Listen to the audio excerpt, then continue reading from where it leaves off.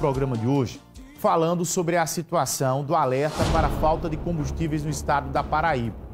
Inclusive no interior do estado, nós somos 223 municípios. Em alguns municípios a gente já recebe essa informação da falta de combustível. Por quê? Teve um acidente que nós mostramos aqui no Porto de Cabedelo, onde infelizmente esse senhorzinho morreu, ele que trabalhava como caminhoneiro. E aí o Ministério Público do Trabalho foi lá e interditou o terminal por inteiro. E esse terminal ele é responsável por 40% do abastecimento do nosso estado.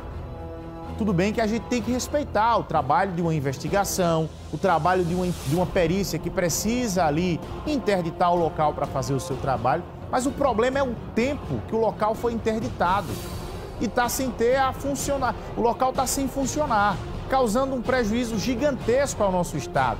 Eu estou agora ao vivo com o presidente do Sindipetro, que representa os empresários, donos de, de postos de combustíveis de todo o estado. Omar, muito bom dia, obrigado por falar com a nossa equipe ao vivo agora. Qual é a situação dos combustíveis hoje no estado da Paraíba com essa possibilidade de desabastecimento? Bem-vindo. É, bom dia, bom dia a todos da Arapuã. Agora, você foi muito feliz no comentário que você fez. Nós também nos solidarizamos com o acidente. Um pouco melhor o teu microfone para que a gente possa compreender. Tá. tá. Pronto, é, melhorou é, sim. Pode falar foi, sim. Tá ouvindo agora? Sim, fica à vontade. Pronto. Você foi muito feliz nessa, nessa, nesse comentário de abertura em falar do, do acidente que houve. Nós, pelo contrário, nós nos solidarizamos com a família, com a pessoa que morreu, com o motorista, com o pai de família, tá? Mas, porém, a gente não pode, é, é, em momento algum, o Cid Petro é, desdenhou ou desrespeitou uma pessoa que morreu, mas nós entendemos também que aquilo ali foi um acidente de trabalho, tá, gente? Esse modus operandi desse porto, se for por conta do motorista subir para fazer o carregamento, isso é igual em todo o Brasil. Se for diferente em algum canto, aí alguém me diga, que eu não sei, porque eu estou eu, eu conheço muitos terminais.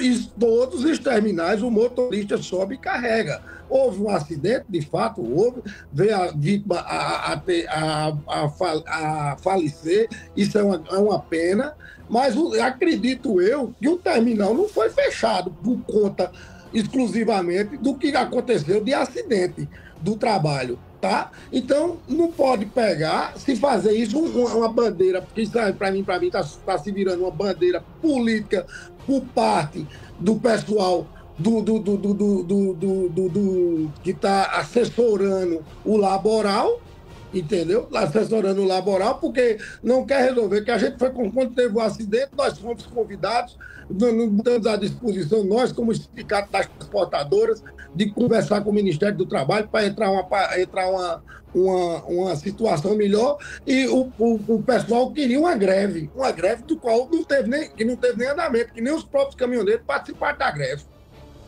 Então, Omar, eu, vamos eu, lá. So, quanto à questão do mérito do acidente, de quem foi culpa, de, que foi, de quem não foi, isso aí é um processo que está em andamento, que vai ser discutido e, obviamente, que vai chegar a uma conclusão. Ponto. Eu quero saber da consequência. Com esse terminal fechado, qual é a consequência para o cidadão que está acompanhando agora o nosso programa em casa? Qual é a consequência real para Paraíba? Pronto, a, conse a, consequência já é fato, já existe. Olha, vamos separar desabastecimento de colapso. Desabastecimento já está acontecendo, que todo mundo acredita que você, ao andar na cidade, você está vendo algum posto sem alguma placa de preço. Quando não tem aquela placa de preço é porque não tem um produto. Não tem, ou está faltando gasolina, ou está faltando álcool, ou está faltando diesel. Nós não temos uma estrutura, um plano B. Se um terminal daquele, aquilo ali é uma estrutura de mais de 20 anos, que não tem ampliação, que não tem ampliação de volume. Então, um terminal daquele parado desde o dia 30, isso termina virando um caos. E o que é que vocês pretendem fazer? Há alguma judicialização disso? Você representa, você é o presidente do sindicato que representa existe, os empresários. É, o consórcio, o consórcio Nordeste, que é o arrendatário da área portuária, que é composto pela Vibra, pela Chan e a Ipiranga, diz que a, a discussão está na justiça. É, é, é, entendendo eles que pediram, pediram uma liminar, alguma coisa para abrir, que a gente tem que chegar num consenso que se tiver alguma coisa errada, tem que consertar, lógico. Lógico que tem que consertar, tem que fazer o certo.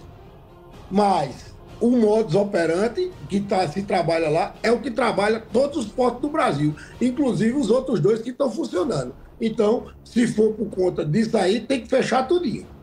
Ou abra eles. Ok, presidente, obrigado pela, nossa, pela sua participação com a gente. Um grande abraço e boa sorte aí na sua caminhada.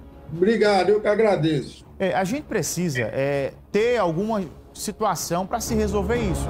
Não dá é para ficar nessa indefinição e o povo da Paraíba, é, com essa, em alguns locais, já faltando combustível. Em outras situações aí os caras se aproveitam para e aumentam o preço da gasolina, o que não pode se aceitar nisso de forma maneira alguma. É uma coisa absurda isso que está acontecendo e com providência deve ser tomada e que a gente vai voltar a falar sobre esse assunto. Estou com o tempo um pouco corrido, mas vamos tocar o barco aqui. Gente, telespectadores entraram em contato com a nossa equipe para denunciar um problema na rua Manuel Paulino,